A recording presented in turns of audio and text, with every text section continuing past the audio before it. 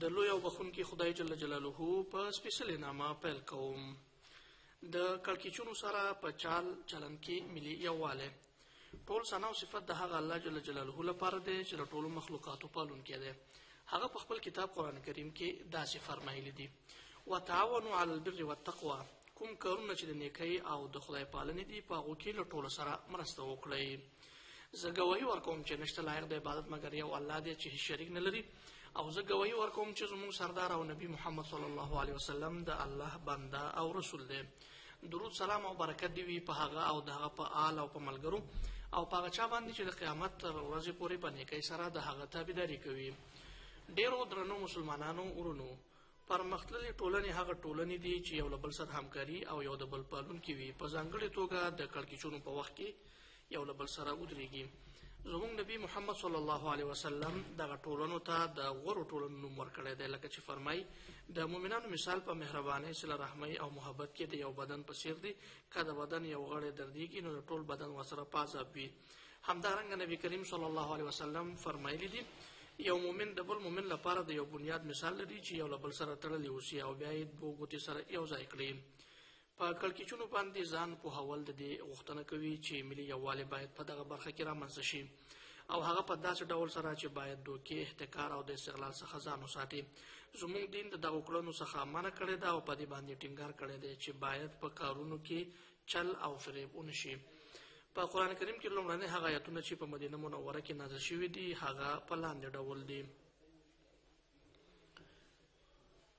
چې پاغي کې په همدې باندې ټینګار شوی دی چې باید یو لبل سره مرسته تر سره شي او همدارنګه پاغي کې یو لبل سره همکاري تر سره شي په قران کریم کې چې څومره آیاتونه راغلي دي ټول په همدې باندې ټینګار کوي چې باید د کلکچونو په وخت کې د ملي یووالي د رامنځته کېدو او د دې تر څنګ د نورو چارو د سرته رسولو لپاره باید یو له بل سره همکارۍ تر سره شي. همدارنګه په د ملي یووالي په جوړولو او د دې تر څنګ په نورو چارو کې یو له بل سره د همکارۍ په پیاوړي کولو باندې همدا ټینګار شوی دی چې د دې ښودنه په همدې کې شوې ده.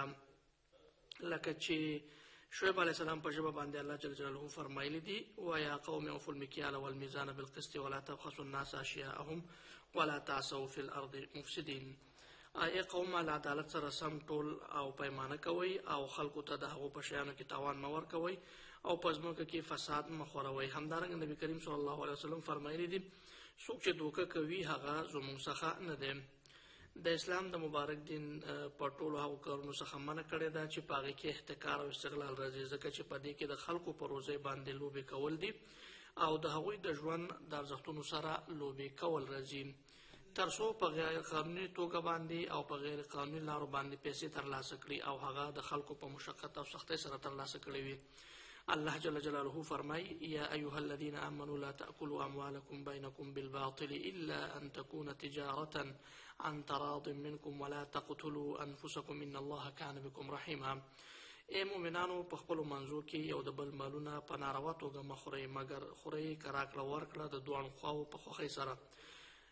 وي او خپل ځانونه مه وژنئ باور ولرئ چې الله پر تاسې مهربانه دی همدارنګه نبی کریم صلی الله علیه وسلم فرمایلی دی د یو مسلمان په بل مسلمان باندې وینه مال او همدارنګه ابرو حرامه ده نبی کریم صلی الله علیه وسلم فرمایلی دی چې احتکار مکوي ان مگر هغه څوک کوي چې په غلطه لار باندې روان وي نو هغه څوک چې احتکار کوي هغه د هیڅ هیواد پورې تړلی نه دی ځکه چې هغه خپل ځان د هر دیني او انساني او هیوادنۍ مینې څخه لوړ ګڼي نو د دې لامل کیږي چې د الله جل جلاله او د خلقو غوسه راو پاروي کچیرته هغه څوک چې احتکار کوي په دې باندې پوه شي چې هغه مال چې د احتکار او استغلال لاره لا سره وړي هغه د قیامت په ورځ باندې په هغه باندې بوجوي نو دغه ظلم څخه بل لاس واخلي لکه چې الله جل جلاله فرمایي ومن یغلل یأتی بما غل یوم القیامه همدارنګه نبی کریم صلی الله علیه وسلم فرمایلی دی چې احتکار کوونکي باندې به لعنت ویل کیږي او د دې ترڅنګ به نور حدیثو کې هم پام دی باندې ټینګار شوی دی هغه ملي تاجران چې پر اختیا توګه سره دوکه نه کوي او فریب او خیانت نه کوي بلکې هوادنۍ مینه دې ته هڅوي چې د کړکېچونو په وخت کې د په خلکو باندې سختی رانولي او خپله ګټه لږه کمه کړي نو بې له شکه دا د هغه کسانو په جمله کې راځي چې په دې باندې ډېر زیات ثواب ورکول کېږي او الله جل جلاله د نبی کریم صلی الله علیه وسلم په ژبه باندې په همدې باندې وعده کړې ده چې رښتیني سوداګرو ته به لوی اجر ورکوي پیغمبر صلی الله علیه وسلم فرمایلی دی هغه تاجر چې رښتینی او امانتدار وي هغه به د نبیانو رښتینو خلکو او د شهیدانو سره په یو صف کې راپاسیږي او همدارنګه د دې ترڅنګ په نورو حدیثو کې هم په همدې باندې ټینګار کړی دی ټول ثنا او صفت د هغه الله جل جلاله لپاره دی چې د ټولو مخلوقاتو پالونکی دی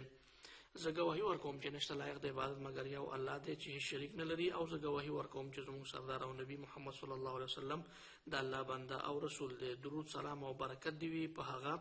او د هغه په آل او په ملګرو او په هغه چا باندې چې د قیامت تر ورځې پورې په نیکۍ سره د هغه تابعداري کوي د کړکیچونو په وخت کې مونږ ته لازمه ده چې نور ورونو ته غوراوی ورکړو او یو له بل سره صله رحمي وکړو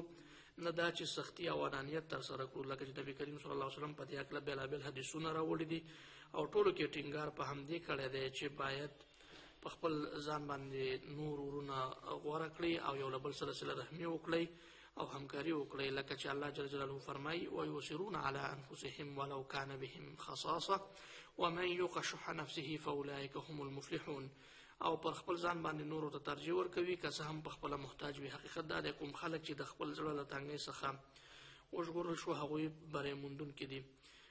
همدارنګه نبی کریم صلی الله علیه وسلم د اشعریانو په حق له هم حدیث کې فرمایلی دی چې هغوی غوړه خلک دي ځکه چې کچیرته د هغوی خواړه کم شي نو خپل خواړه راجم کوي په یو صادر کې اچوي او په برابر سره یو بل باندې تقسیموي هغوی له ما څخه دي او زه له هغوی څخه یم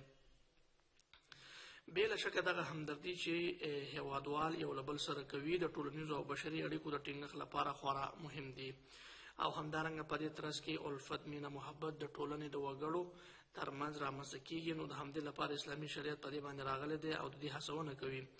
لکه چې الله جل جلاله فرمایي وتعاونوا علی البر والتقوا ولا تعاونوا علی الاسم والعدوان کوم کارونه چې د نیکۍ او خدای پالنې دي په هغو کې یو له بل سره مرسته وکړئ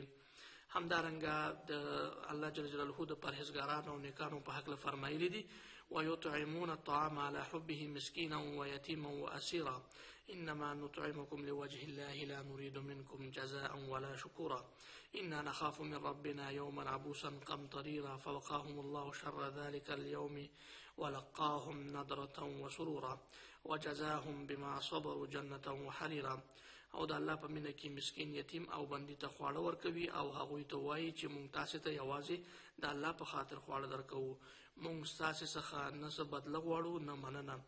نو له همدې لپاره لازمه ده چې یو له بل سره صله رحمي وکړو او نبی کریم صلی الله علیه وسلم هم فرمایلی دي چې خلکو ته خواړه ورکړئ صله رحمي وکړئ او د شپې لمونځونه کوئ په داسې وخت کې چې خلک ویده تاسو به سلامتیا سره جنت ته داخلیږئ همدارنګه په بل حدیث کې فرمایلی دی پتا څه کې غوړه هغه سوق دی چې خلکو ته خوړه ورکوي الله دې زموږ د ګران مصر او د نړۍ د ټولو هوادونو ساتنه وکړي والسلام علیکم ورحمت الله وبرکاته